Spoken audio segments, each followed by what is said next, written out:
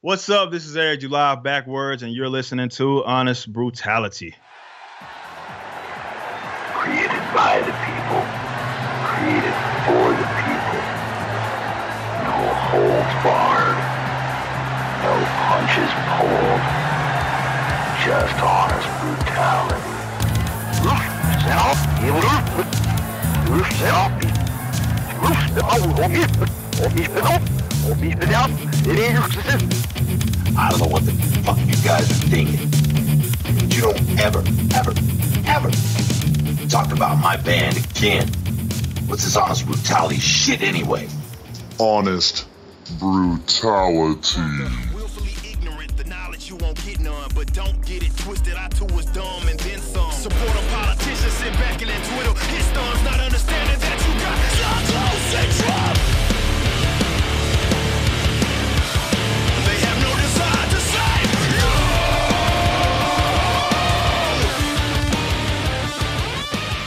Hey everybody, welcome to Honest Brutality. This is Big Sloppy with Evil Irk and the Camera Rebel, and we have a super special, honored to have guest tonight, the Yes, one we and do. only Eric July of Backwordz. How you doing tonight, Eric?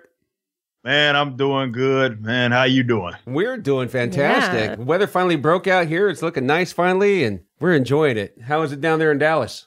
Right now, it's uh, it started to get a little chilly, but you know, chilly out here, people think is you know hot as hell everywhere else. You know? but it works. It works. uh, the first time I ran across Backwordz was about a year ago. I was uh, checking out Alonzo Rachel's show, Zonation, Okay. and he ran the uh, the video. You guys had a lyric video for "Utopias Don't Exist," and I was like, "Oh my gosh, these guys are incredible! This is it wasn't like anything I'd ever heard." And it was really blunt. The lyrics in that were blunt as all get out. And I'm like, Yeah. oh, man, these guys, they're going a lot different than what you normally hear Yeah. from a rock, metal, rap. What, I don't. What do you guys? How do you describe your music? Yeah, what's the genre? Man, we we call we just dubbed our own kind of genre. We call it street hop because, like I you said, like it's not really it's not really a whole lot out there, and we have a lot of uh, hip hop influences. But we all also before we even started this band, we were all in hardcore and metal bands. So Right. that's where you hear that from too. So we're we're kind of all over the place. I'm watching the lyric video, and you're Hmm. saying some some blunt items there. right.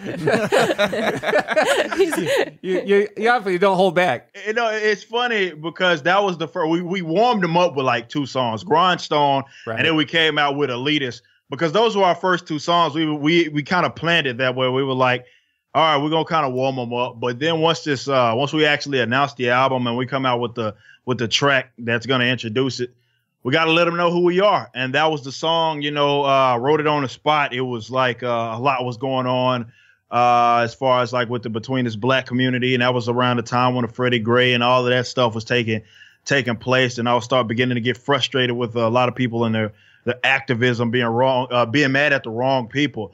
You know what I mean? So uh, this is just how it was. You know, we just don't hold. We didn't want to hold any punches because that's a representation of what the band, you know, actually stands for, and we're all about really giving it to you straight. And I think that's what sets us apart from a lot of bands because we'll go ahead and rather than make these kind of generic kind of we're gonna mash this song in a way that you might know what we're talking about, but we could also be talking about something else. That's not what we're about. We're about all right, we're gonna give it to you straight. It may it's gonna make you feel some kind of way, but that's what it's all about. I think that hashtag another blacks mad did the trick.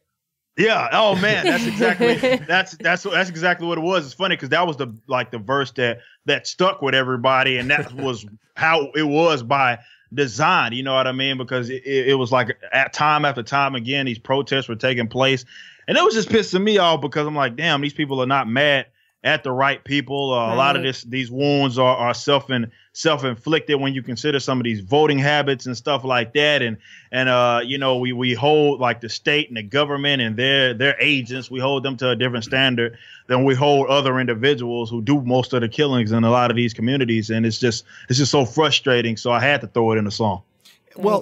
Indeed. I would like to just kind of preface the whole conversation with the fact that you are probably more well known in some circles as an activist or a political Right. figure than you are as a musician or an artist.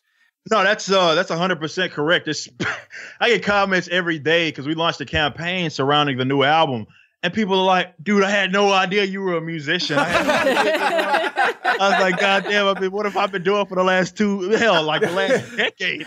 What have I where it's been? You know what I mean?" So yeah, no, that, that's completely correct. But it is cool because Backwordz is the first band that I've been a part of a music project that I that I didn't have to you know hit an off switch or anything like that where I'm putting, I'm giving it to you like I am as an activist as well as a musician, because I was living so many different lifestyles as uh, you know, as an artist and an activist, uh, that kind of set set it up as such. You know what I mean? Everybody, you got some people that knew me as a rapper, you know, some people that knew me as a person that fronted metal bands, and some people that knew me as an activist. Uh, Backwordz was the first band that really that music project that I was a part of where you got all three of those kind of Right. lifestyles combined into one. Right. Yeah, and it's and it's really cool. And I got to tell you, I was talking to my wife. I told her, "Yeah, we're gonna have Eric July on." She said, "Who?" And I, I said, "Okay, here, check this out. Watch this video for this song called "Be Great." It's gonna tell you all you need to know about Eric July, his entire history for crying out loud, his childhood through Right. where he's at now. He's gonna get, and he's not gonna pull any punches. He's gonna tell you. exactly where he's coming from.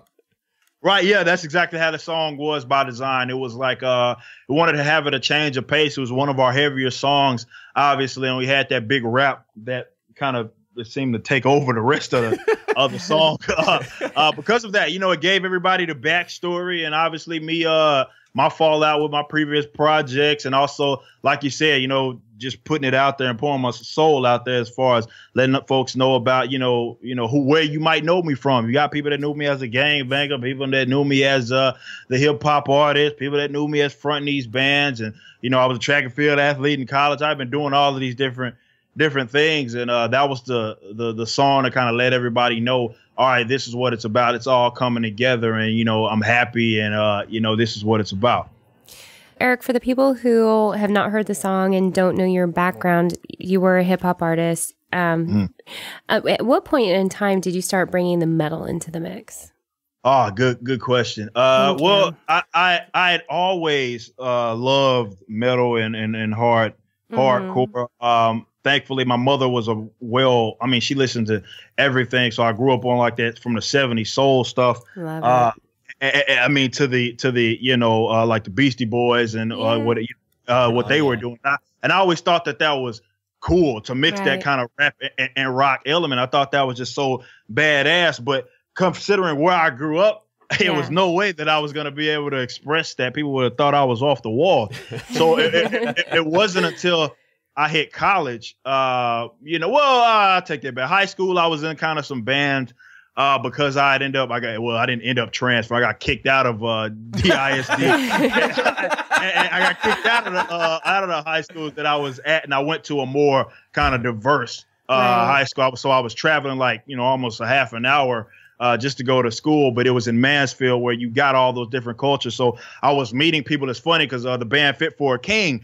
Uh, they had just came up, and I had met uh, the front man of uh, Fit for a King, Ryan Kirby, and all those Uh-huh. guys uh, as well, because we all went to the same uh, high, uh, like district uh, Right. when, when I was out there in high school. So it was so so cool. But at, at that point, I was able to express myself. But uh, going into college, and I was, you know, I went to Corpus Christi, and I was meeting some other people, being a part of other bands, and I was actually as an instrumentalist, like a keyboardist and backup vocalist. It wasn't until like I started doing these covers on YouTube and stuff like that that I became more open about myself as a as a mental Right. you know, vocalist. So I was, uh, you know, it wasn't until like my early, you know, early twenties when I really like was like, you know what, screw this. I'm just gonna be who it is that I that I am. I can still maybe do the rap on the side, but I just want to show people that I can do this, you know, metal hardcore stuff as well. Absolutely, you do you, and I tell you what, it's the it's the two genres that I absolutely love together. Love Yeah, them. sure. You, you know, you mentioned the uh, YouTube stuff with the vocal covers, and I, I caught the one you did for "Aggressive" by Beartooth, and I was blown away. uh, really, I mean, because in in actuality, it's hard to find people that that can sing that way and project that way and do it well. Mhm. And that's why sure. o- there's only so many bands that are really successful in that genre is because it, it's hard to get somebody that can really do it. And I'm listening to it, I'm thinking, you know, if Caleb ever wanted to step down, Eric could step right in. I'm, I'm more than open for that. I'm a huge fan of uh of Caleb too. I, I loved seeing his uh kind of progression because he's you know he's a few years, a couple of years younger than me, and seeing his progression from becoming. I mean, everybody should follow this guy's story because he came from being just a keyboardist of, of Attack Attack to kind of gradually becoming a front man uh, before they disbanded. And he started uh, Beartooth, and it, it took off. And he's just such a phenomenal, uh, for such a phenomenal vocalist. And uh, the way that kind of that screaming style, like he is, as well as Mike Haran- Mike Hranica from uh, Devil Wears Prada, is like uh, along my line. So that's why it's easy for me to cover uh, those types of, of vocals because that's you know how I learned to do it as well. Right, yeah. You know what? Caleb has this this raw thing about his Yeah. vocal style. And you know what's really funny, Eric, is that I'm finding a lot more bands that are just adopting that style Yep. As I'm progressing through and checking out music. It's it's pretty amazing. I love it. Yeah. It's been a shift. I mean, you saw a lot of uh, bands kind of start doing that kind of uh, more grass, uh, like Yeah. the raspy kind of uh, projection of vocals. Like we saw, for example, uh, you know, Bring Me the Horizon, and they Mhm. when they switched to what they were doing, they're doing the same thing and as well. So you're seeing a lot of these bands try to do that. Now, the hard thing about that is that you get a lot uh, some bands who want to do it. It's trendy.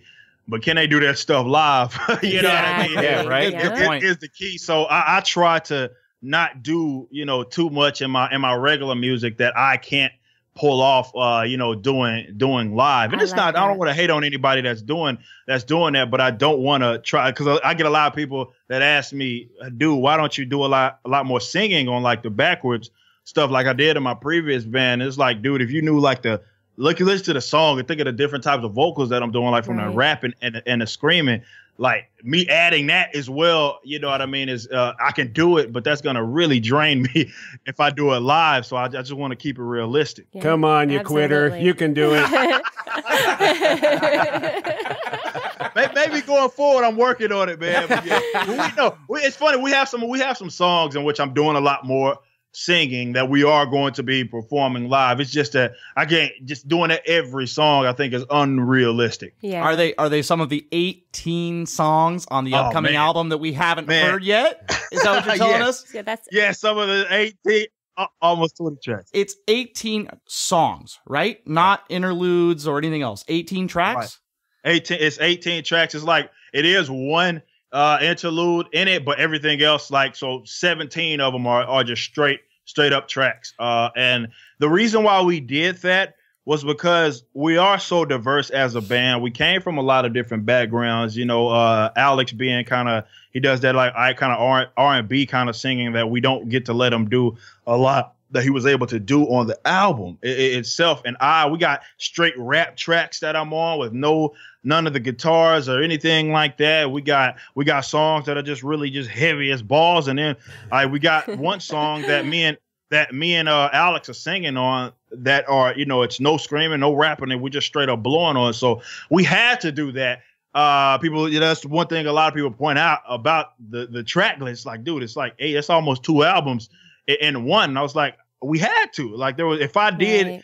like just you know the typical or what's being done now with like 11 songs or so i was like there's there's so much that we haven't done and thankfully we came from that background where all a lot of albums like that were like and i came from the hip-hop side like like Nas and all these guys weren't dropping like 10 song albums. Right, like right. Miseducation's like 18 tracks uh by you know and Eminem and all these people that you know they were dropping uh you know 15 song albums at a, at a time and I feel like that's what it's what it's all about. I want to give people that enjoy us I want to give them uh some more and hell the next album might be more than that. You never know. So what is the drop date on that?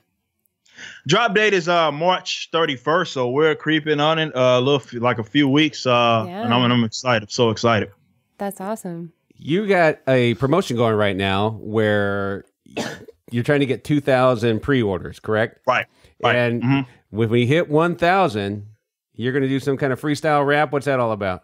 Well, at a thousand, uh, uh, you know, the thousand pre-order, which we're creeping up on that. We are going to drop a uh, like a free, just straight up rap based mixtape. I do those little segments, those rippers raps segment. A lot of people that knew me before all of this metal stuff, uh, and just as a hip hop artist, that's what they want. So this is our way of giving back to them. It's going to be free, obviously, for a download for everybody to give them. That's just going to be strictly rap.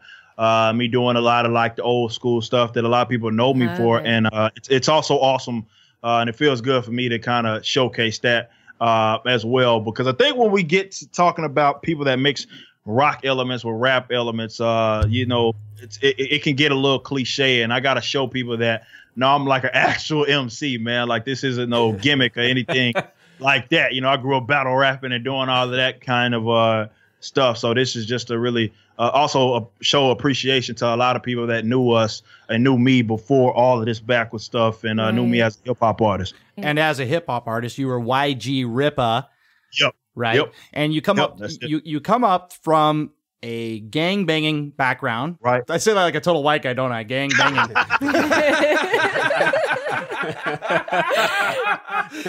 Oh man. Sorry, man. It's just I, anyway. How do you realize when does this happen in your head that you realize that you can scream, and how do you develop that? Oh man, uh, it was early on. It was early on. Thankfully, I grew up in. Uh, I was just kind of, you know, you got that age where you're a youngster, where you're really starting to soak in uh, so much music. You're like eight, nine, 10, 10 years old, and that's when you really decide, all right, what I'm going to like going forward. And around that age, that was just when you know um, Rage, who I don't really agree with their politics, they were doing what they were doing. That was the same era. You know, that whole about between about '97 and 2002. Think about all the albums that were dropping. That was when Hybrid Theory had dropped. Eminem Right, had just right. dropped. Uh, uh, you know, it's like Slim Shady LP as well as the Marshall Right. Mathers uh, deal. It was just you know System of a Down were uh, were kind of coming up. It was just so much good stuff that was just coming up in that era that I got to soak in like at, at, when I'm just now deciding what type of music. So I was listening to that and I see what Chester Bennington was pretty much my favorite vocalist uh, from Linkin Park and seeing the cool things that he was doing and obviously hearing Shinoda alongside him. And I would try to mimic what they were doing, mimic what some of the other, Okay, ba- yeah. you know, me, being in Dallas, obviously being a Pantera fan as well, you know, Right. trying to Yeah. There it is. mimic what, what, what these guys were doing. And uh, I always knew that I could that I could do it. It just wasn't until uh, when I got older uh, that I kind of placed myself in a position where I can actually showcase people that this is something that I could do. You bring like up the Rage Against the Machine comparison, and I don't know if you've read this or seen this. You probably have, but you've been called the libertarian Rage Right. Against the Machine. Right. How does that make you feel, man? Well, it, it's it's interesting because I know that that's how people can easily identify us. So I don't get, I don't get upset when people, um, you know, make that comparison because you know they hear the rock with the with the rock in the middle aspects, and uh, they hear the political the politics side of it. So I can understand why people would go there. You know what I mean? But we are we are a little different. Obviously, we're a little heavier uh, than than uh, what they do, uh, and we you know we do the singing elements and the screaming elements that they really don't uh, do a whole lot of showcasing, and also politically. Uh, I would love to get in a in a room and, and sit down with you know Zach and those guys and Tom and, tell, and, and- and tell them you know that they are wrong on so much stuff. You know what I mean? Because you know what I mean. Like that's I, I, I like I, I respect them for what they were they were doing, and I, I'll be the first to say like you know I'm not a commie. You know what I mean? So I don't really get down with with the red and black flags and stuff that they be throwing out there, man. So if I sat down with them, I'd be like, hey man, great music, but I ain't really with your politics. You know what I mean? So, uh, but that'd be a great conversation. I'm sure a lot of people Uh, would look forward. Look, Eric, I would pay huge money, huge, to see that. I'm a lot of talking, people I'm talking double figures. yeah, no, no, for sure. A lot of people would, man, and I, I would love to do it, man. I think that's probably an inevitable uh, thing that's going to happen as we grow. That uh, we're we're going to get those comparisons, and I love to, you know, get us. You know, somebody can set it up, get a podcast or something. You want Zach and me to talk because uh, a lot of people think that that we are similar because we talk politics.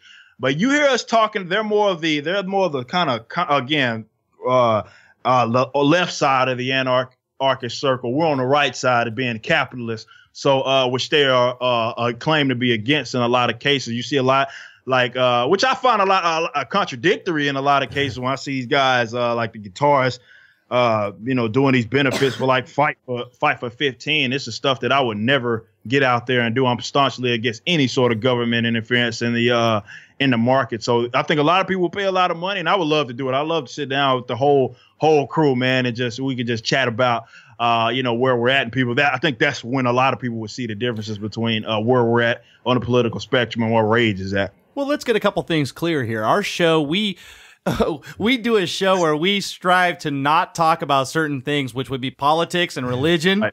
But Right. that's just because we're entertainers, as you are. But you're a little bit of a different thing going on. You got, Right. you know. So let's talk about this. Let's talk about the label. Uh, if I've not got it incorrect, it is anarchy capitalist. Yeah, anarcho capitalist. Yep, that's it. Okay, and that is the label, that, the banner that you fly, right? Right. Yep, that's it. And so you have a podcast dedicated to that, which I, I spent some time with. Mm-hmm. And um, that's some pretty interesting stuff. And you raise some hairs, don't you? Oh man, uh, that's, that's, that's putting it lightly. That's putting it lightly. Uh, fe- feathers are, are, are ru- ruffled, man. Like every time we, yeah, we do our podcast Backwordz live, as well as uh, you know, I co-founded the, uh, which is probably the uh, biggest uh, right now, kind of at least Facebook wise, a libertarian page and being Yeah. libertarian uh, and Right. beinglibertarian.com.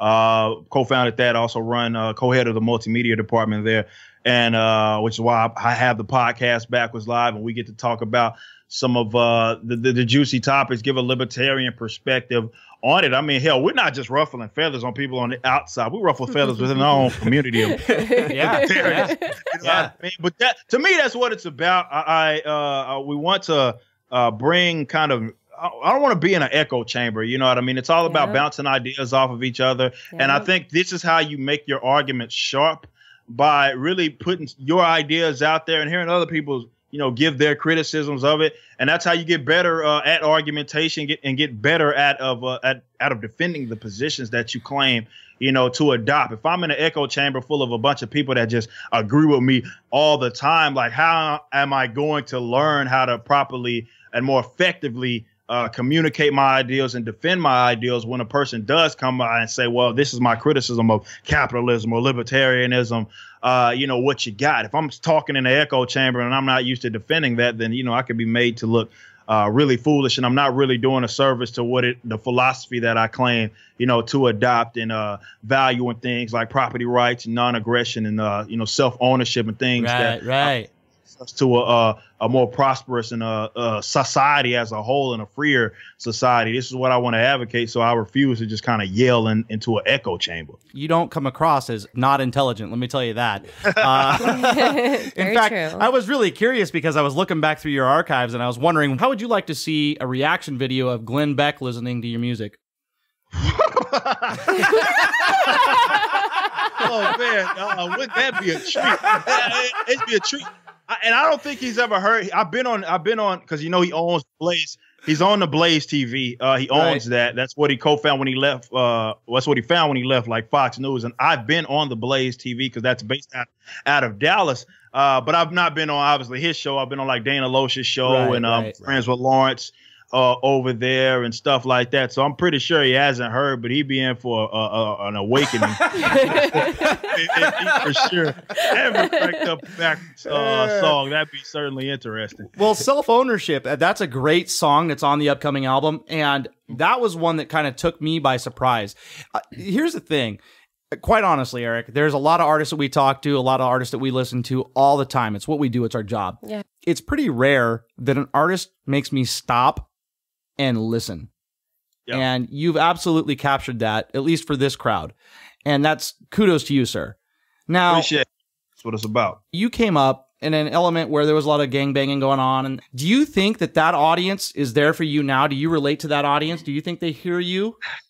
I'm, I still relate to them. Uh, I will always relate to them. That's why I grew up. I was grown, uh, kind of born and raised in the same uh, unfortunate situations that a lot of these communities are in. You know, being in a uh, you know predominantly black uh, culture, obviously, and uh, single parent household and all that. I would never not relate. I understand that struggle. Some people had it better. Some people had it worse, but I I absolutely under understand it. And I'm in a genre now predominantly that is. Uh, that they might not be accepting Right. to, obviously. So I, I understand that. But this is why I do a lot of the rap, you know, stuff that I do on Okay. the side to still keep those guys interested in stuff that I've always done. There will always be those that will think that even I wouldn't say even from the music standpoint, I think the political is what has if anything, has uh, distanced me from from a lot of people that I grew up with and the lifestyle I grew up. It's the politics more than the music itself, because you got to understand this is uh, these black communities are. Le- I mean, it's, leftists have a uh, a, like a, a strong arm on them. It's a it's a political monopoly, which is why you see election after election, the only demographic that's going to vote 90% plus for the Democratic Party or any party for that for that matter, i- it's a it's a monopoly on it. And I'm on the opposite side to where I just you know, I, I might align with them on some aspects, but I will, I don't support the I hate the Democratic Party. Uh, I think that they're very very evil. I think that uh, what they've done to these communities are uh, destructive. The policies are destructive, Right. and some of the things that they advocate are diametrically opposed to advancing them. And they, but they unfortunately they pose themselves as friends of uh, of a lot of black folks. And um, because I'm staunchly against them, that has you know for people that grew up with me uh, or knew me as that, they see that and they're like, what the what the hell? But uh, I don't get it as much as maybe a lot of maybe let's say like the conservative side of things. Like maybe they get it because I before I ever put my thoughts out there, I researched it thoroughly uh, Right. to the point to where I know it like the back of my hand, and I will forever be able to maneuver in no matter what the culture is, whether it be this culture, this rock, rock based culture, or I go in the hood. I will forever be able to communicate those ideals with those people um, because uh, I, I believe in it. I'm passionate about it, but most importantly, I understand it. So uh, I can actually communicate this to a lot of different Right. people, no matter what culture or upbringing uh, that they had. Eric, growing up in an area heavy with gangs, what was the pivotal moment that pulled you away from gang activity? Oh man, I was uh, with this uh, chick that I was with. I was a track and field athlete um, in high school. That's what that was my ticket out actually. To get out of the Dallas was my uh, track and field scholarship. But I was chilling. The, the girl that I was with at the time Mhm. was a um, uh, she was a basketball player. So you know they had their little practices uh, after school or you know open gym or whatever she was at. And I had my little track practice. And after all of that, we were kind of just kicking it outside the school, hanging out. And uh, this car of people rolled up that you know obviously you were beefing on me, and it you know it put it in perspective because I'm like these people well, they had guns and stuff like that, and Mhm. I'm putting somebody that has absolutely nothing to do with this in danger. Yeah. And that's when that's when it got real because it's like this is this is stupid. This whole obvious gangbanging is is ridiculous. Right, This is agreed. silly. It's silly, silly that a lot of people, you know, they go out there terrorizing their own communities or beefing on people because of what side of Right. what city they're from or what color they. That's this is insane. Stupid. But yeah, it is stupid. But but that, I mean, uh, amongst amongst all of that, what did it for me was that again, I was putting somebody that I cared about at the time so much uh in danger. You know what I mean? Yeah. And that it just clicked. Like, what the hell am I am I doing? Like, I'm putting somebody that has nothing to do with this. She is not a she's not a banger or anything like that. She's a right. uh, sweet chick, and uh, she, you know, uh, well, so I thought she was. Obviously, we're not together anymore. But that's, that's another story. But you know, she, she certainly wasn't. The, no matter how what we what we Yeah. were on, she did not deserve to have, uh, you know, her, her life in danger at any point in time uh, because of some silliness that I was uh, involved in. That was uh, unfair to her, unfair to my family members, unfair to my friends that maybe had nothing to do with this it was just silly and it clicked because I'm putting in perspective like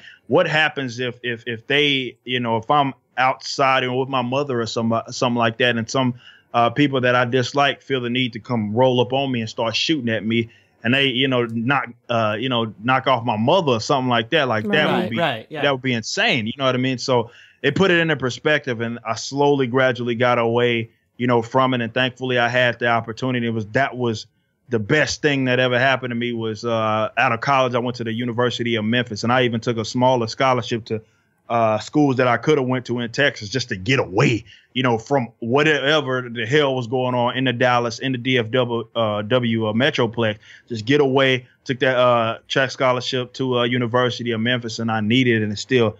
Uh, uh, to this day, I'm thankful that I took it because Lord knows what would have happened if I stayed, you know, in Dallas. I easily, I easily could have got pulled back into that nonsense. you know, gangs are a huge epidemic. Uh, it's not Right. something that I personally have been involved with, um, which is a good thing. Um, but it's definitely something that I'm sensitive to. So let's just say that we have some young listeners listening right now who are thinking about joining a gang. What would your message to them be right now? it's it's stupid. Um, and the reason that is, I mean, I'm a libertarian and I'm all about individualism Right. uh, because of that. And uh, it's it's collectivist nonsense. It's uh, you know, I know some people join these gangs because they feel as if they have to, the protection aspect of feeling part of something and whatnot. But my thing is to uh, you know, and uh, advocate. That's what we talked about and be great as well in the song is that you know understanding who you are and being the best you being the best individual Right. that you can be is far more valuable than uh you know claiming a set uh claiming a click or something like that or just being part of something and uh this I, i'm staunchly against uh collectivism because of that because that's what gangs are that's what the government is the state is a bunch of collectivist nonsense and bitch you got people that try to take credit for for Mhm. stuff that they had nothing uh, to do with, and you got people paying for the mistakes of other people because they're part of this this uh, this collective, and it's so stupid uh because every individual is an individual. You're not obligated really uh, to any sort of lifestyle. You're not doomed to. To, to fail or doomed to uh, have a, a certain upbringing or anything like that. So anybody that's thinking about joining it, no matter what the reasoning is, the long term of uh, effects. If you just work on yourself uh, who you are as an actual, uh, you know, individual, bettering, uh, you know, your craft. That's going to take you a lot further than any sort of tie to a color or a clique or a side of town. Exactly. I love it. Thank you. I God. appreciate that. Darn, man, you are one passionate fella. Yes, Yeah. he You is. Yeah, this went Yes. real heavy in a hurry. Okay, so- Hey, Eric, you're obviously super passionate, very, very intelligent. You've accomplished a lot. You have a birthday coming up, right? You're 26 now, is that right? Uh, yeah, 27. I'll be 27. Uh, dang, you just reminded me of that. Golly. I forgot. I, I swear to God, Next I forgot month. my Yeah. birthday was next month, man. Golly, that's crazy. For a guy who's not even 30 years old, you've seen a lot of stuff and done a lot of stuff. And you're, you're very passionate, and obviously you're very engaged in your political platform and what you're doing, and and I get that. How does that um how does it affect like your family dynamic, Mhm. uh, your relatives, and your band?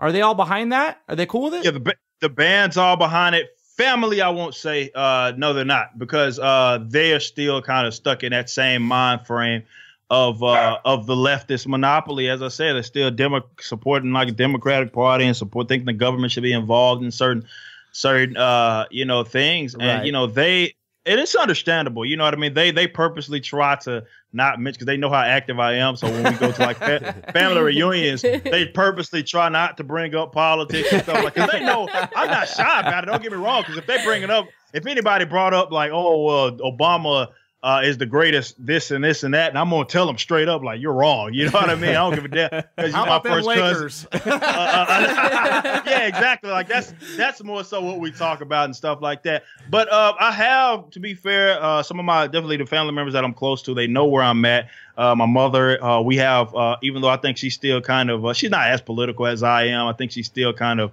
thinking that the Democratic Party is the lesser of the evils uh, that are out there and stuff like that. But we we have a lot of common ground. Um, she understands uh, where I'm coming from. Of my family members understand we uh, where I'm coming from, and I think I've been able to successfully plant those those seeds uh, to them. And that's actually what I would encourage a lot of people who who have kind of found the light and realize, you know, the government, what the state is, realize uh, what libertarianism is, realize the beauty of uh, of capitalism and stuff like that.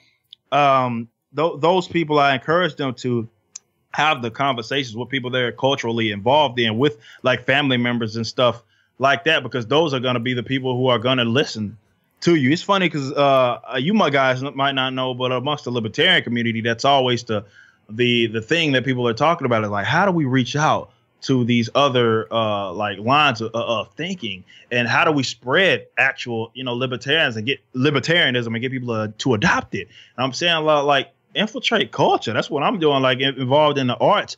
Like everybody, no matter who you are, what you're involved in, you're involved in some type of sub culture. Well, mine just happen to be I'm heavily involved in music as a musician, but you got people whether it be from the religious aspect or or or you know people are involved in the you know local I don't know Yeah. cycling club or something like that. Like those are your tickets to you know uh, that's where you're going to be more successful in planting actual seeds uh and, and uh, bringing people over to your side because it's one thing for me to ta say something to a person that I've never met and try to influence them and plant a seed of libertarianism. It's another for you to do that, you know, to your family member, or your friend, your close friend, or somebody that you see on a daily basis that you're involved in with the uh, subculture aspect. So, uh, you know, that's what I'm do as as a musician. That's exactly what I'm doing. What I'm trying to do is successfully infiltrate art, uh, because I think that the culture is the down.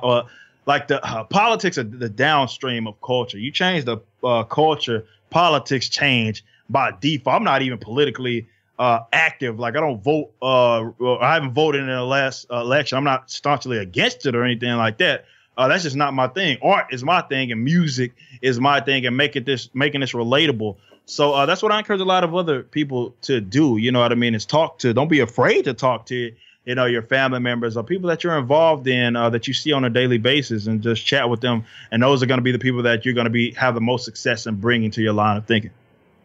See, I told you guys when we were going to have this guy on, he'd be the smartest guy we ever had on the show. All right. I'll tell you what, I, I have to agree. Enigmatic, man. You are absolutely a cult of personality. Yeah, I think That's that about. hey, I, I take advantage of it. I I, I well, I, I think you're doing a great job, and I think that really, quite honestly, your politics aside, no offense when I say this, but the reason that we really were very interested in what you're doing is because of the music. right. And Backwordz is an amazing art form. It really is. Yeah. I don't want to stir any big pot here, but your former band was very good too.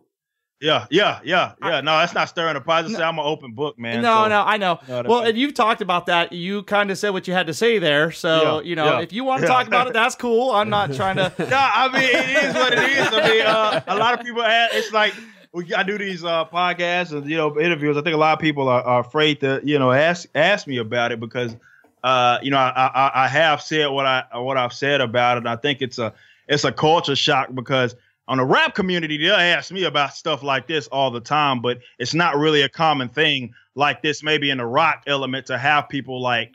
You know, well, I, I don't got any problem to say like I don't Right. I don't mess with them. You know what I mean? Or, I, or what I thought they, what the, what I thought what they would you know what they do I think is, is the, some of the corniest stuff that I've ever seen uh, as a, as a musician. Um, you know what took place in my fallout with that with that band. I'm not a, I'm, I'm open book. You know what I mean? I think a lot of people and I understand. it, I understand it. Well, here's the thing, though. In the rap culture, it's not uncommon to have the us versus them, the East Coast versus the West Bingo. Coast, and what have you, right? Right, And right. I, I see those elements here, and I kind of heard them, and I wasn't sure what to do with it because we're metalheads.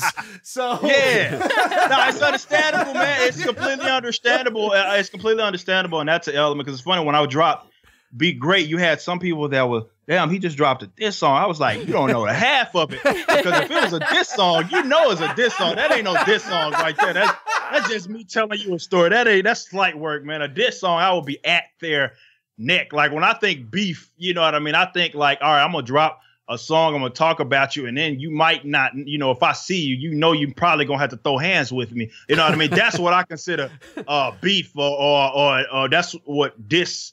Uh, the kind of behind a diss record would be. That wasn't no damn diss record, man. That was just some a track of me just telling people the backstory of what happened. It was n- nothing like that. just remind me to do a good job with this conversation. So I, as much as I'd love to be in one of your songs, I don't think I want to be in that light. Nah, people that know me, man, that's that's what I grew. I grew up beef rapping, man. Like that's what that's what I was known for, like beefing on as a game bang. I put that stuff in my music, so I wouldn't. I was not shy about if there was a person that you know I, I considered an enemy or something like that. You know, battle rapping. That was just what. That's I mean, understandably so. That's kind of the background of hip hop in general. Right. You know what I mean? Or uh, people did that, even if it wasn't like on like people didn't like actually dislike each other. People made like records against each other just because that's what the talent base of hip hop is all about. But yeah, "Be Great" wasn't wasn't a diss song or anything like that. That was just a song of me telling people, yeah, I thought it was whack. This is what happened. This is my side, you know, of the story. If they ever, and you know, I, I don't think I've ever said this on on on a uh, like interview or anything like that. if they ever were to say something that was out of line, and this is why I think you don't you haven't heard anything from their party because they know obviously everything that I said was true. I've uh, not fabricated any sort of uh, story, and I also I know they're they're afraid like, all right, if it did come to a situation where, all right, we wanted to beef, they're not really gonna come out of that uh, victorious. It's not gonna it's not it's not gonna be victorious at all because those are problems that they don't they don't want. They don't want any sort of sort of problems with those because again, this is what I grew up. Are you saying they don't want to step Derek July? No, that's exactly what I'm saying. You know, like, that- and it's understandable. Got to pick your battles as a as a musician. Like they not they not they don't come from that hip hop background. All they did was try to do what I tried to do and uh, kind of mimic it and do they you know uh, do whatever the hell it is that they're doing. But they're not like hip hop artists. The front man now is not a not a rap guy. You know, he was in a Right. fucking death. Excuse my language, uh, but he was in No, a no. deathcore band uh, uh, you know, before and uh, you know, joining and replacing me as essentially a carbon copy. So this this wasn't this is not a person that's about that. You know what I mean? That's not that's understandably so. Some people aren't they don't go that route. So I'm not knocking them for that. You know, stay in your lane and do your do your thing. That's the that's the smart thing to do. But if it ever came, and that's that's to anybody that was uh, it's not just to them. That's to anybody who thought it was ever a good idea. Like, oh, I don't, I don't like Eric, and I'm gonna make a song about him, or I'm gonna, I'm gonna talk down to him. Like, you're gonna have a bad time, man. Too bad you're not confident. He's not confident at all. But I'm the most friendliest person, uh, you know, ever. Like, you, you have to, you have to, you would have to do something really like disrespectful. You you look pretty huggable. Yeah, dude. Like I, I'm, I'm a teddy bear, man. Like, yeah, get all that game banging stuff, man. Like you know, I'm, I'm, I'm a teddy bear, man. I, I, I try to. I mean, the, the philosophy that I, I claim to adopt of non-aggression, like that's kind of what it's about.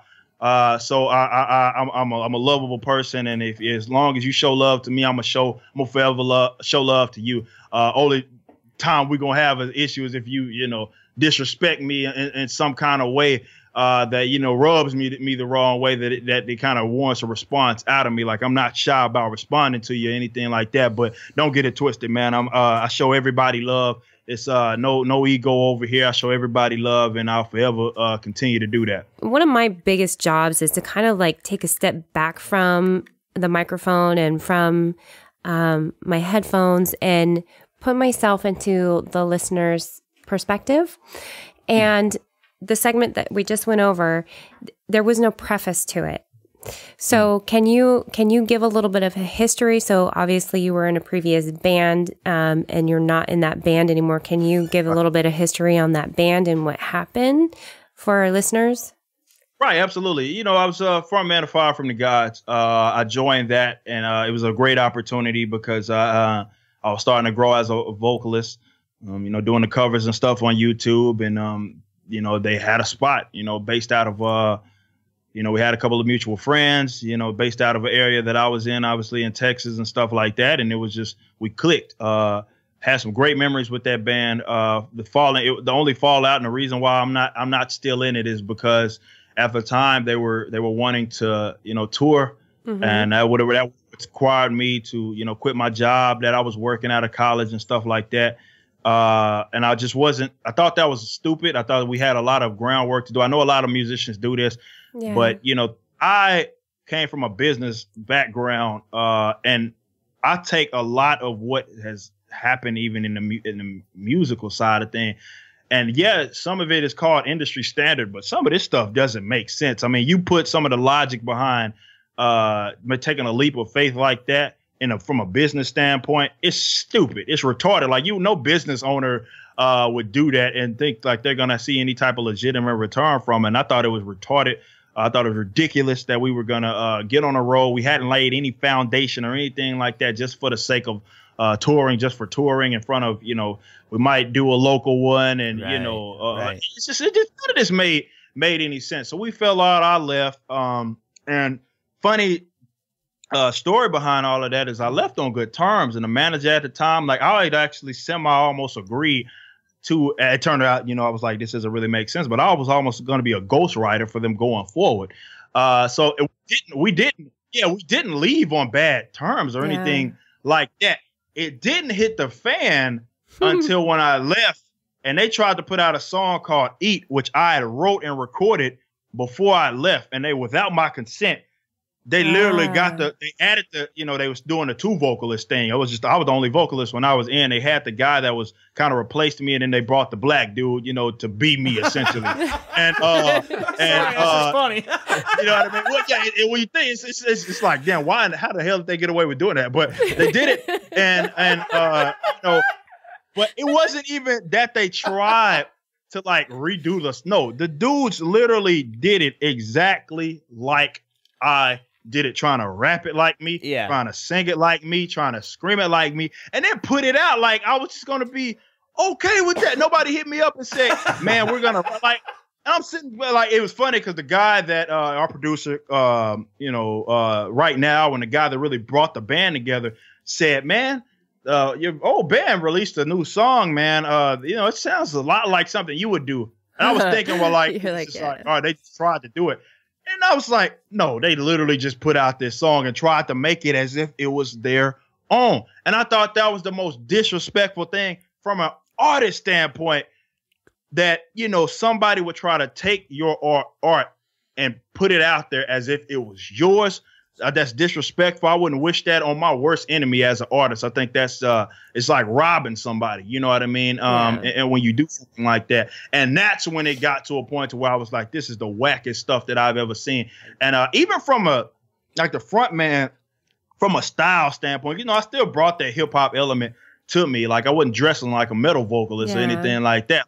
Just like a street. And this guy's tried to do that. You know what I mean? He wasn't doing none of that. so I'm like, this dude literally is a carbon copy of me. Like it's it's people to this day that still think I'm still and I get messed. I got tagged in a Twitter photo today. I, no, I swear to God, I'm not, I'm not, I'm not making this up. But guy thought it was me. I was like, that's not me, bro. So did you approach them about it and let them Oh, know how you absolutely. Yeah, Okay. I, I let them know that it was the corniest thing, and uh, it was actually, you know, I own the rights to the music, so it was, uh, it was a, it was a full takedown of it. Which like you can't even find it online no more. Uh, you know what I mean? The song that is, you can just find the articles and stuff uh, of the of the actual. Release. You can't find the song because I own, I wrote it, so I, of course I own, I Yeah. own, I own the record. You know what I mean? So, uh, yeah, I did. Uh, uh, I let them know. You know what I mean? I thought it was the corniest thing, and I wasn't shy about it. They they've seen uh, what I've had, you know, to to say about it. But the crazy thing is, even amongst all that, nobody ever picked up the phone and called me and apologized for it, say it was a misunderstanding or anything like that. That never happened. It was like they they the takedown happened and they tried to ignore it out of existence. And they're actually lucky that I didn't go like full blown like I'm about to. It was it was beef worthy. It's funny people that you know you know uh, buddies back at home you know that grew up with me on the hip hop side. They're like, bro, we need to be at they next. Like, what are we doing? Like, we should be at home with their hands. Like, we trying to destroy careers. Like, like this is the most disrespectful stuff. But I was like, nah, I'm gonna let them make it. It's, and it's mainly because I still had a lot of respect for the people that were involved in it. And ultimately, it was something that I helped grow. You know what I mean? So it's like Yeah. it- it's like damn i don't want to see you know i made them you know what i mean? I don't want to see a, something that i made go in the crap. But like i said they, they're still on that thin line because it, it still hasn't been like resolved. I still think it, it was corny what the, they're tr- trying to fill out their sound and do their own thing but it doesn't change the fact from the appearance song and the sounds uh element. They tried to literally get a guy to sound and do exactly what I did. So they're still on a thin ice to where if they said something out of line and I got word on them, I can't promise that I wouldn't go at them. You know what I mean? But uh, you know, they're doing their own thing. It is what it is. Let them have, you know, you know, their success and we're gonna do what it is that we do. And anytime somebody asks me about it, I'm not gonna shy shy around it and say act like, oh well, it's all good. No, I still think what what they did was the corniest, weakest, pathetic thing that I've ever seen uh, and experienced as a musician. Sounds like you're about to go Suge Knight on their ass. Nah, nah, not quite. Not quite. Again, the thing is, if I did it, it would be like it's not like I'm not doing it without reason. You know what I mean? Uh, Right. that's like for somebody to do that. Uh, it, it was it was it was whack. And if I did come at them, nobody could ever say like, "Oh, I'm overreacting," because that what they did was uh of the utmost uh disrespect. So Yeah, you know, it is what it is. Let them do what they do. Uh, they, I think what they're doing is a smart thing. It's trying to ignore it out of existence, act like it never happened, and and uh, try to ride off of that. You know what I mean? I think they do that by design because they know if they if they they got to keep me happy. You know what I mean? Because if it came if it came to a point, I had to get at them. It's not it's not going to be something that they're going to uh that they're going to benefit from, and it's because they don't come from that hip hop background. So it's not like they would know what to do in that situation. You know what I mean? So Yeah. it is what it is. You know, let them let them do what it is that they do. I don't have any kind of like you know animosity or anything like that. I'm not going to go about uh you know uh, trying to center my career uh right, off of right. what do it is what it is. You know what I mean? We're still doing our thing. They're doing they're doing their thing. But again, if, if ever anybody ever asked me about it, I'm not going to shy away from it because I do think uh, from an artist standpoint, you know, it, it, people should know that, that that shouldn't be tolerated. Yeah. Well, thank you for digging a little deeper on that. That's awesome. Absolutely. So you mentioned starting with a good base eh, before you go out and start touring and all that. And I noticed you guys on this album, though you didn't necessarily sign with the record company. You still No. you did into a partnership, right? yeah, we got into a partnership to help us with uh, things that you know we you know couldn't do, like such as the distribution and uh, some of the marketing aspects that we needed help, you know, uh, with as uh, well. But but hell, from the marketing standpoint, we put so we spend a, a lot of money on that. The record itself, we still own our publishing and stuff like like that. No, we didn't sign a, a standard uh, uh, deal, and we refused to. Uh, so as long as we're doing it, uh, we're trying to keep it as independent as possible. Because again, just from the business aspect, you look at the industry standard uh, stuff, and thankfully, I uh, had the experience of of having to manage millions of dollars and being in a GM of, of certain businesses. You know what I mean? Uh, hundreds thousands, millions of dollars. Uh, you know, coming out of college and being a general manager in the gym gym industry, and then went to like kind of the hotel resort industry uh, as well. And doing all of that, and uh, you know, just uh, approaching business it just didn't make sense. Like signing a standard record deal, I don't know why half the deals that these uh, artists sign, I think is is just so stupid. I'm like, you're not getting anything out of that, and the label owns you and your music. Like, Right. what the hell are you doing? And I know people want to get out there and they think it's all fun. I want to be in the limelight. I'm gonna Right. get all this. Mhm. The, the label has all of this. Uh, like they're gonna put me in front of everybody's face and and stuff like that. And I understand and that you want to be in a limelight. You want to play in front of so many people, and you want to see the instant success that you might not see uh, taking the route that we're going. But just from a long term standpoint, the, the the business element and just when I look at the standard deal when we would get all those offers, I'm like, there's no way in hell if I put this this same kind of structure in any other element of business, no, in a different like uh uh genre, in a uh not and I'm not talking about musical genre, I'm talking about just uh, from a different business aspect.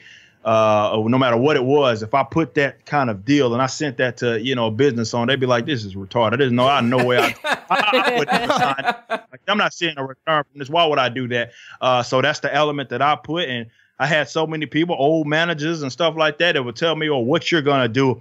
So foolish. Like our first big tour is now. You know what I mean? Is uh, upcoming week with like Master Flames Right. and, and sworn in, and it took us two years to do that. But so many people said that that would never happen. They said I had to sign a record label. I had to uh, do all these silly, uh, uh, like kind of no name tours uh, by by ourselves or with some local people that we would, you know, maybe performing in front of ten people a night. People swore that I had to do that before I ever jumped on a on a show and a tour like this. And back with shows, them that they was all full of crap. That was bogus. That was uh, nonsensical. We never had to put ourselves in a position where we had to, uh, uh, you know, quit like uh, what we were doing at home. You know, kind of the basic money making schemes. 'Cause we all adults, man. We all got mortgages, man. We got, Yeah, yeah, right. Hey, man, like nobody's yeah, like oh, I'm not doing all this stupidness. Eric, you, I got to tell you, man, you, you make our job so easy because I don't even have to ask the questions I had written down, man. You already,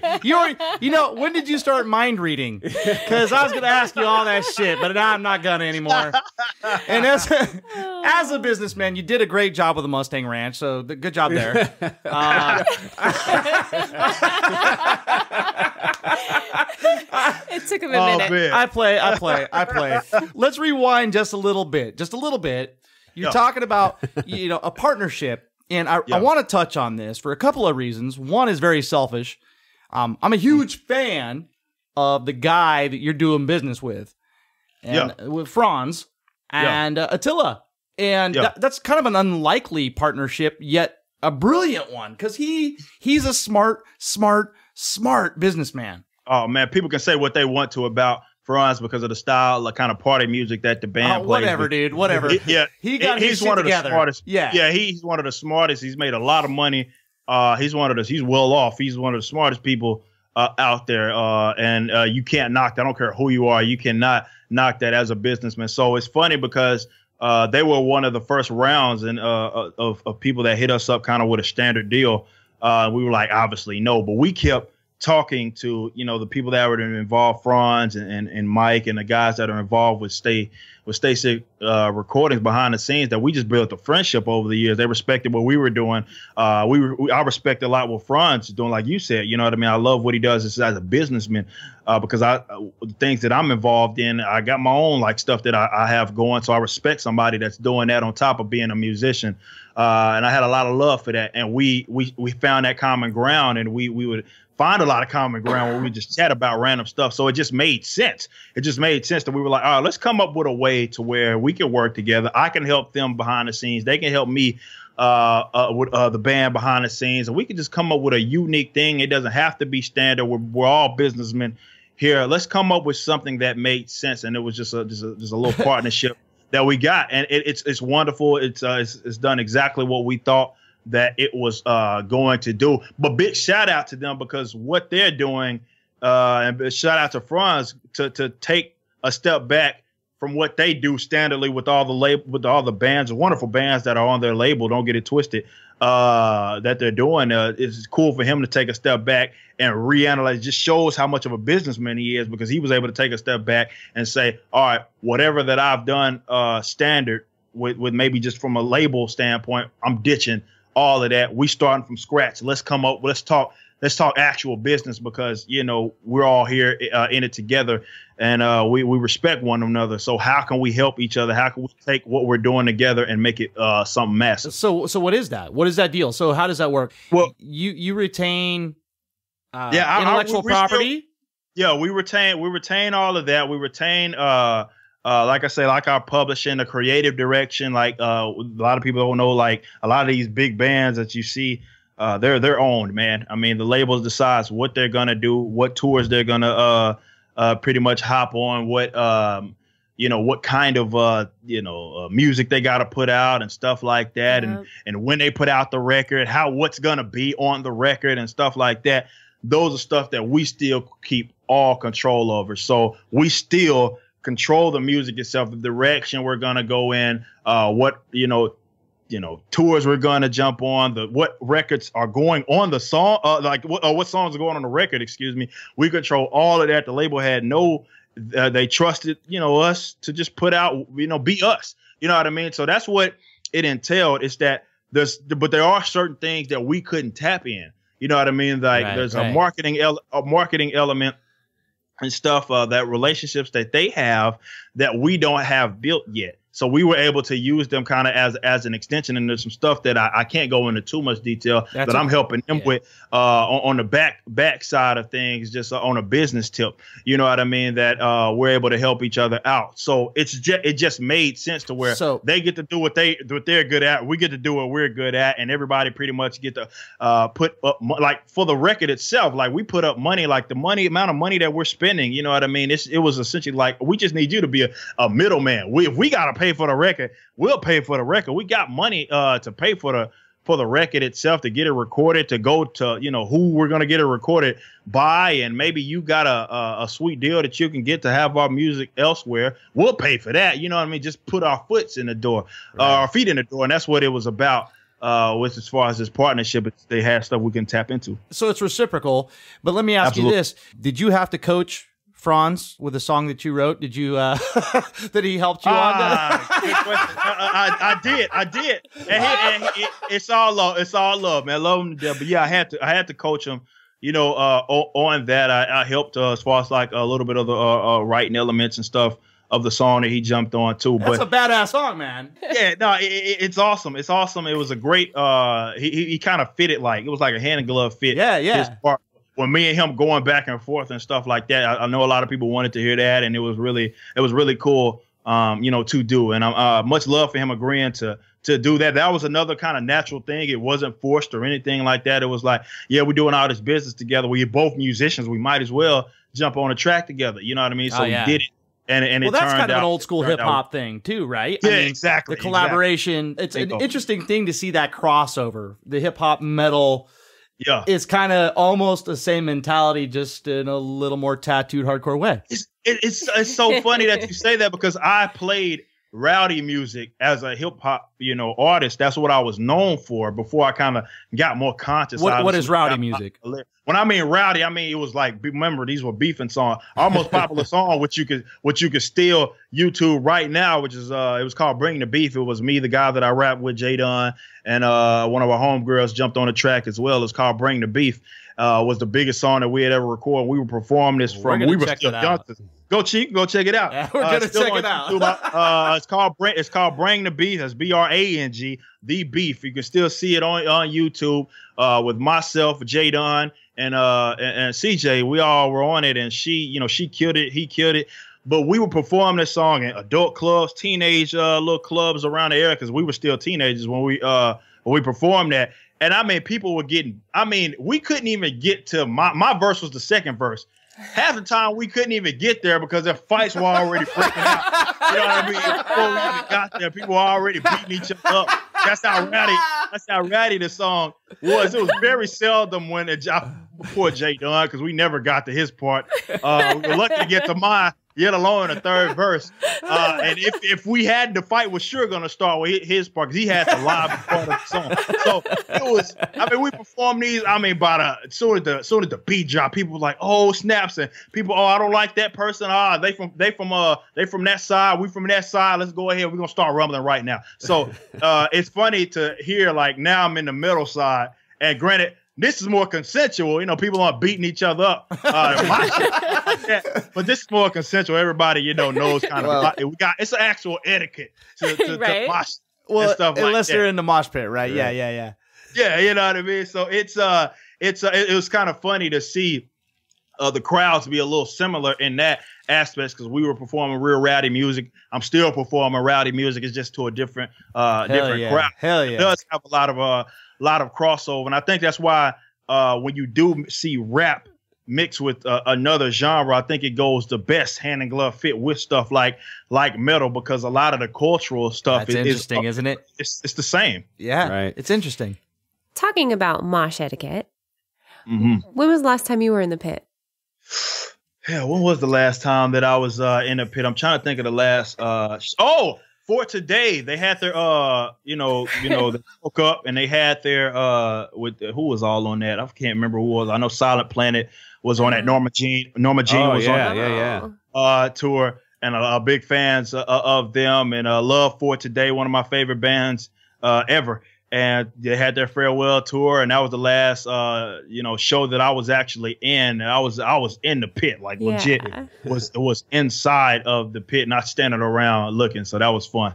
Throughout your whole musical career, in whichever genre and at whatever point in time of your life of this musical career that you've had, what is the most crazy, insane thing that you've seen at a show? Oh man, uh, it's funny. We had a recent show Uh-huh. that was uh, that was insane. Uh, that we performed in Austin. Big shout out to uh those guys and the Dirty Dirty Dog. Uh, I wouldn't say it's probably my most craziest, but uh, it's up there, and it was it, it, it did set the tone for what Backwordz is because anybody that sees us live we're we're chaotic i mean yeah we we get down and uh, you know we got this whole intellectual kind of lyrics but man we're all over the damn place we don't Yeah. coordinate we're we're so we're so chaotic and there was a song that's uh that we haven't released yet it's on an album called demon rat and, and alex you know what i mean the bassist he gets mid set didn't tell anybody that he was going to do this uh it's a, it's a part in the song where it it gets kind of heavy uh, because you think at the beginning of the song it's one of our more chill songs. So I'm not really screaming, I'm just rapping. Right. Uh, and it gets to a part to where I get to yelling. There's a breakdown about to come. He gets, he takes off his bass, jumps in the crowd. Uh, and he's like, before, and I, I, I, legit like probably blacked out because I don't even remember what the hell was going on. Because I'm on the, I'm, I'm seeing we got footage of this too.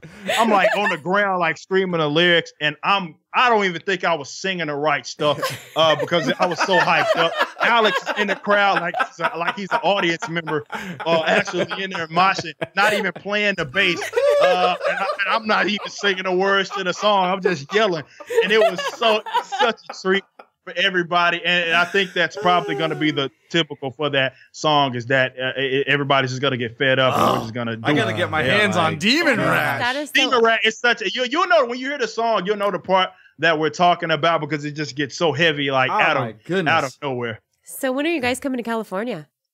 Oh, I hope we get out there soon. Uh, um, unfortunately, the the tour that we're hopping on with Like Moths to Flames, I think that was the biggest gripe that we got a lot of crap from a lot of fans. I know Like Moths fans, the Sworn In fans got it too because they're like, Yeah. why the hell is this tour not coming to uh, the West Coast?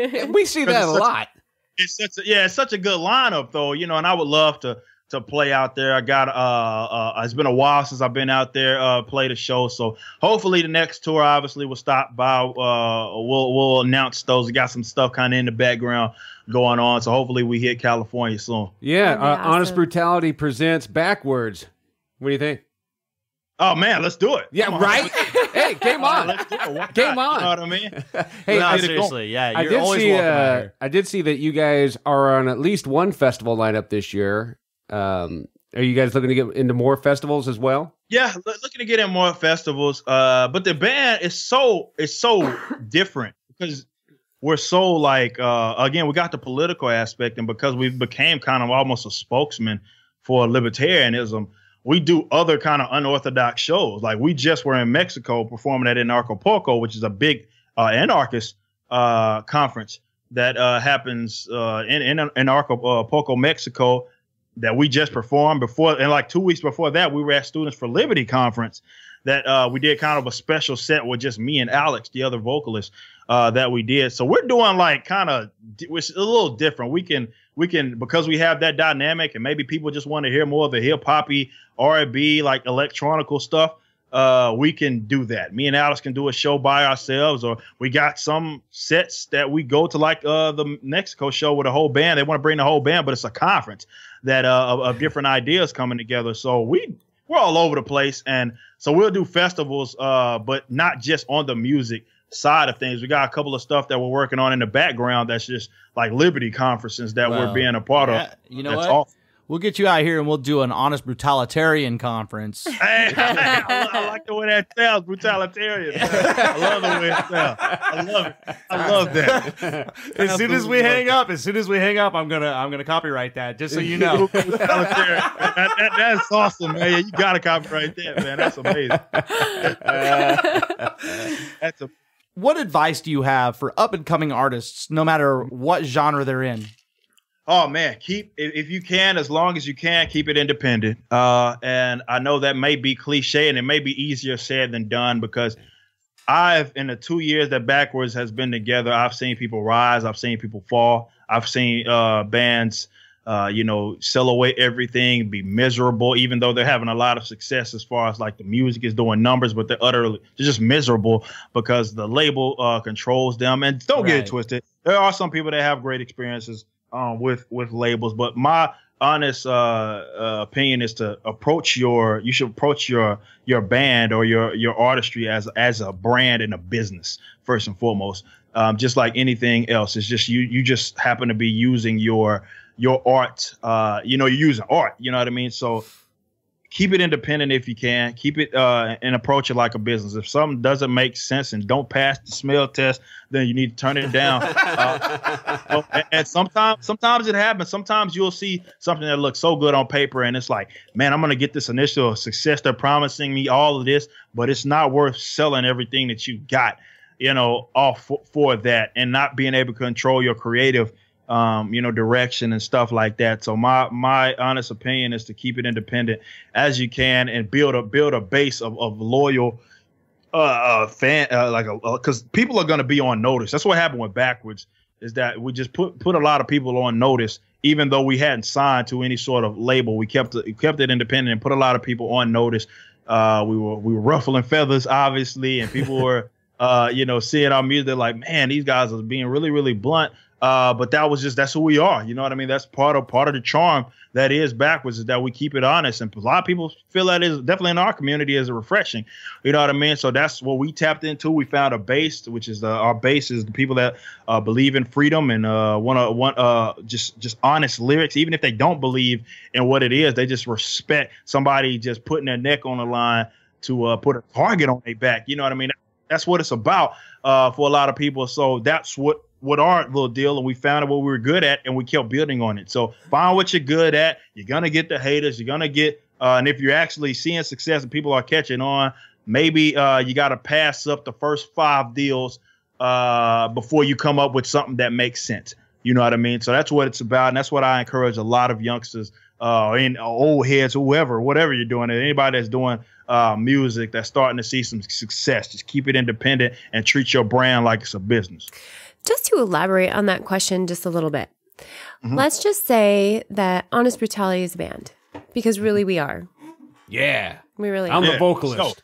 But but let's just let's don't quit your day job, sloppy. Hey, hey, hey. let the let the Reverend Eric July talk here. So- hold on, hold on. So sorry about that. Okay, so Honest Brutality is a band, right? And we we have our product, we have our fan base. I mean, we have amazing music, and we're just we're there. We're at that point. How does Honest Brutality get on tour? Who do we need to be reaching out to? Smart, smart. Well, there's uh, a lot of different agencies that are out there um, that um, you know will. That's all they do. You know what I mean? You can get you Okay. a booking agent, be big or small, and get you an actual booking agents. We w- we work with uh, uh APA. Uh, big shout out to Andrew and all those guys over at APA who books obviously some of the biggest names. He's awesome at, at what he at what he does. But even before we even brought them on, we were we were building relationships with like local promoters and stuff like that. So we were a lot of bands would come on, come through town, and uh, we would be on a ticket as well, you know, for opening opening acts. And I would right. say that's that's a, a, a, a fine, you know, local promoters get in good, Yeah. you know, with them, uh, you know, but work on your craft first. I mean, Right. before you get a lot of people. Uh, I see these people don't even re- have anything to record, and they think they're gonna just get out there and do these big shows right. and like like you know they don't even have like and in the the records that they do have it's not like professionally uh mixed or mastered or anything like that like work on that first put your money into that get like a little ep or something out you know what i mean and just uh get a foundation for some music that you can point to and then start submitting that to uh because that's what you know promoters and stuff want to hear like hey i see you got this coming in town. You should check us out. You know what i mean? Right.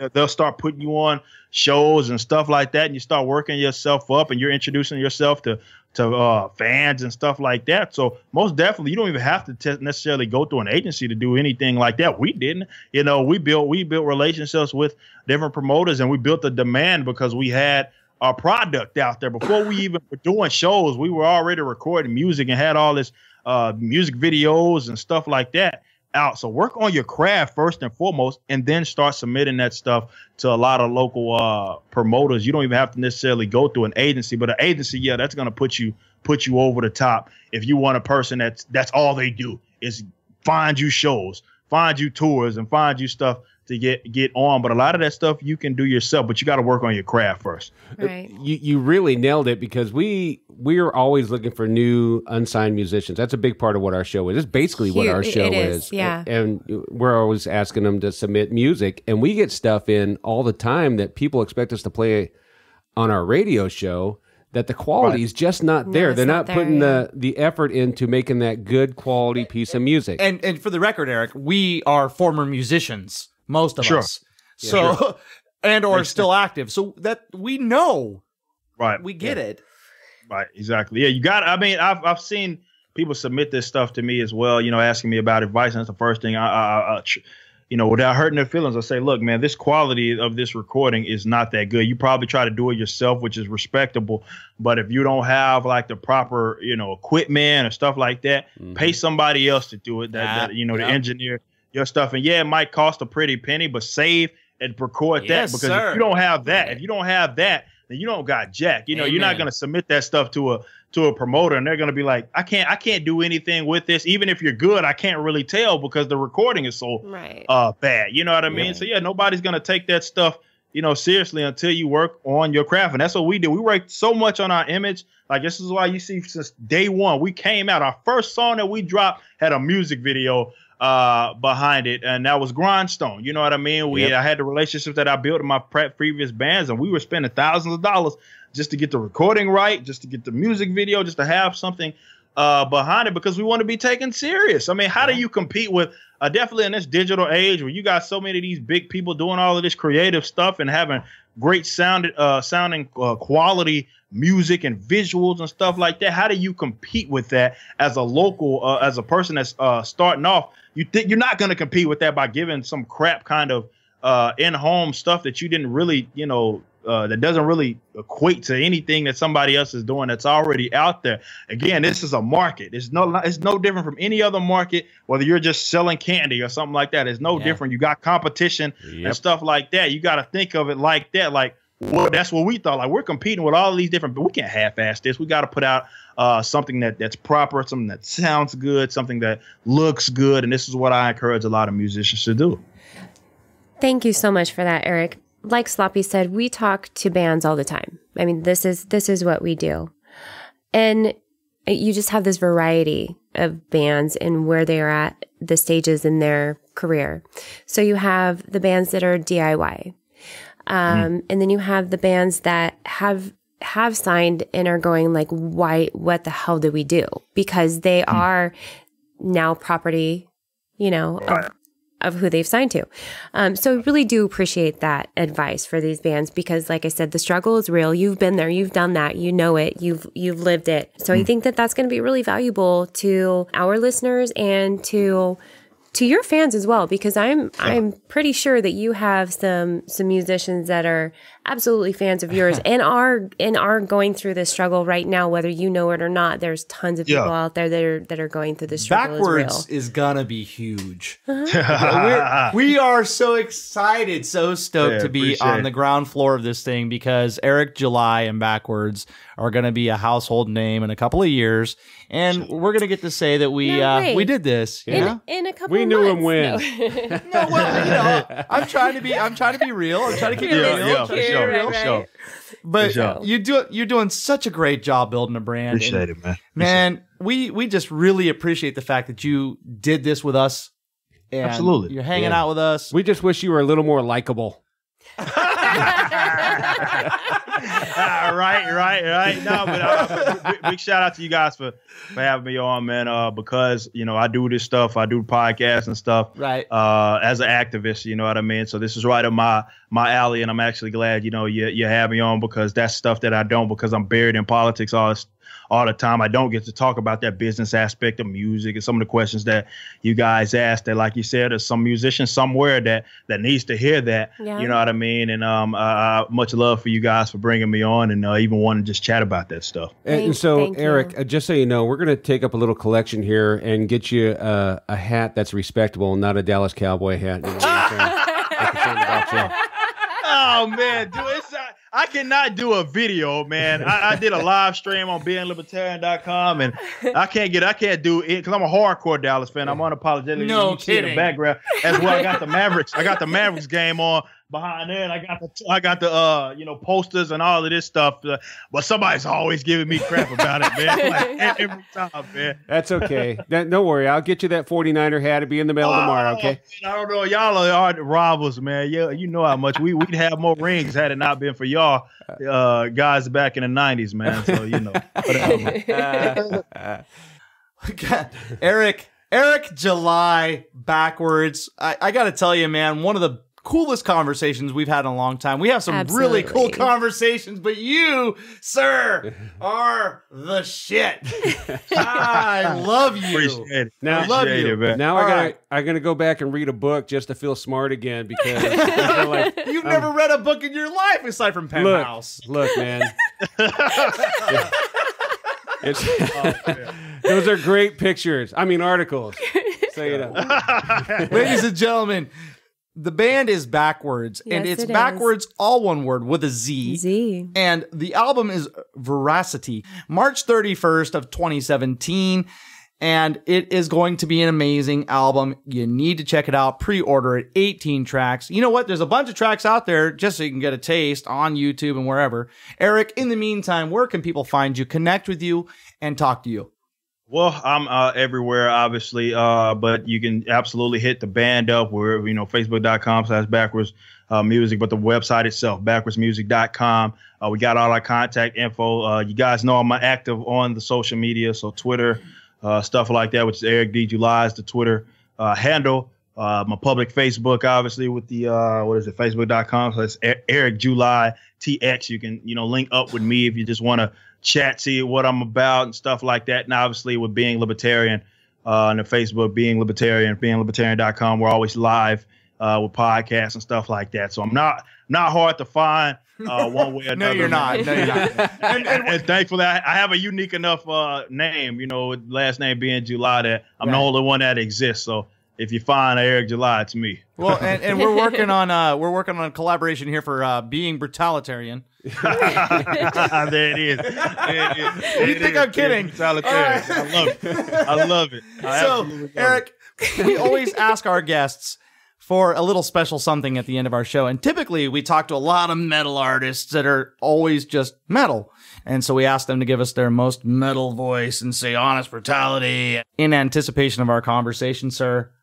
I don't know if you're willing to do it or not, but I was wondering if you would give us an Eric July freestyle. Oh, Eric July freestyle. Okay, yeah, let's uh let's see if we can uh uh do that. Okay, uh let's see. I'm old school like the landline. Man's rhymes kind of sort of like a landmine. I'm stone cold and if I throw it, I'm a landmine. Y'all just need to put a sock in it like mankind. I can't lie, most of these stands I am not a fan. I ain't playing. I'm applying science like the Iron Man, defying it, crying the alliance that you lying in. Wind up in the lion's den or maybe in a frying pan. Either way, you getting eight though. This ain't the lake show, but you shacking a fool and getting booted like safe mode. Net worth of network, stump you a dang chump, a man punk that don't belong near my command prompt. Fan of it, they amateurs, no need to pander when I'm moving forward like progress, they still like mannequins. Guess that I can answer this, You're sort of like philanthropists, cause I'm breaking the mics and y'all paying for the damages. I'm off the scale like hippopotamus weight, and you're just off the rails and gotta be fake. It gotta be fake. A lot on the plate is possible you got in the way. A lot of y'all is trying to be great, but why would you wait? And some would like to try to relate that I got a big ego.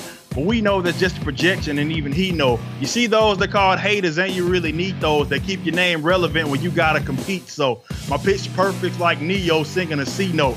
Producer slapping bass like Tito. I'm walking moons like his brother Michael, but I'm clutch like the Jordan one. And you DeAndre shooting a free throw. You be broke. Man, I, lo- I love this freestyle stuff, man. Is all right up my alley, man. Honest brutality, man. Honest brutality. Brutalitarian, man. Uh, man, no, man. But that, that was fun. Uh, that, that was so fun. That was so fun. It's fun. I don't get to. I, I don't get to do that as much as I uh as I wish I could, man. Um, because it's just metal all the time. It's these days. Everything's metal. It's never, uh, it's never uh, you know, the hip hop hop stuff unless I'm just doing it obviously as a, as a side side note. But man, that's always cool to do, and I hope your fans enjoy that one. So, this whole conversation, the number one vibe I'm getting from you is you be you. oh man, And whatever you do in life, you be you. You be the be best, the best you. you. can be. Best Yep. you can be, man. That that's the my motto. That's what "Be Great" is all about. If you listen to the lyrics of the song, which is uh, one of our one of our heavier songs, uh, one of our you know biggest songs up up to date, that's exactly what it is. Uh, and it's funny that a song is on the album called "You Are You," and uh, that's it. that's what it's about. I mean, it's about, and that's the message that I try to preach to so many different individuals, and um, you know, because you know that's what the philosophy that I adopt is all about. You know, being the best you that you can be, no matter uh, you know, it's gonna be people that dislike it, whatever it is, what it is. Just be the best you. Stop trying to be everybody else. Don't feel like you're you're you're uh, because of who you uh, you know your upbringing that you're automatically tied to a certain outcome and stuff Right. like that. You're in direct control of of your life, man, and uh, that's what it's about. Just get I out you it. get out there, be you, and be great, man. I, I say this a lot, but it, this time it's it's absolutely from the heart and from the gut. You you right now are the my favorite guest we've had on this show, dude. Well, I would have You- to concur. You he's you very sir. inspiring. We Very honestly we figured you were going to be really good, but you've even exceed, Yeah. exceeded our expectations. It's been a lot of fun. It. You're like you should be named Eric Christmas.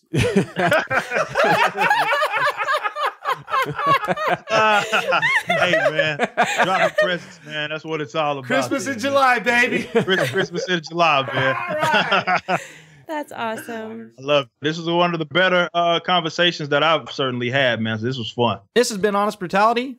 We love you. We thank you for listening. If you need more Honest Brutality in your life, you can do that at honestbrutality.com or you can check us out at Instagram, Twitter, Facebook, all the different socials. You can give us a call. 530-962-0411. And don't forget to listen to our radio shows on Rock Rage Radio. We are there every Saturday with the Honest Brutality Hour at 4 p.m. Eastern, 1 p.m. Pacific. And on Tuesdays, We have our center stage, and that would be 5 p.m. Pacific, 8 p.m. Eastern Time, where we talk to bands and uh, play their music. So every Tuesday. It's so fun. Oh, I found this new website. It's called um, Honest Brutality. honestbrutality.com. It's so awesome.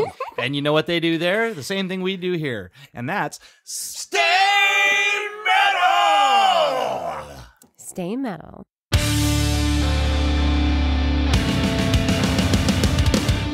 You know the ones you should be avoiding. Meanwhile, one of your boys injecting the poison. Folks next to you begging galore. And he giving you money, but you making them more. A couple false promises, obvious that you ain't getting nothing out of the deal. But you begging for real, and they've been running your cities for about 70 years. And you keep on supporting cause they say what a bill. You gotta be out your mind. You falling for the okey doke,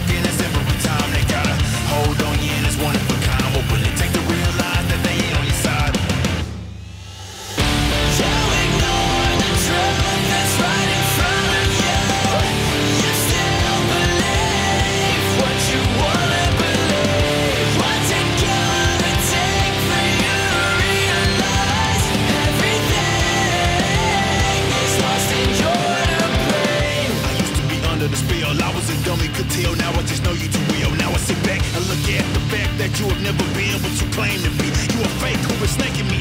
So why you try to guilt trip me to death? I got you out the picture and I ain't missed a step. Kinda like you never left. So you been feeding lies, but my folks still treat you like a god that you're not. But I'll give you props on that. You got a spot of gold nash.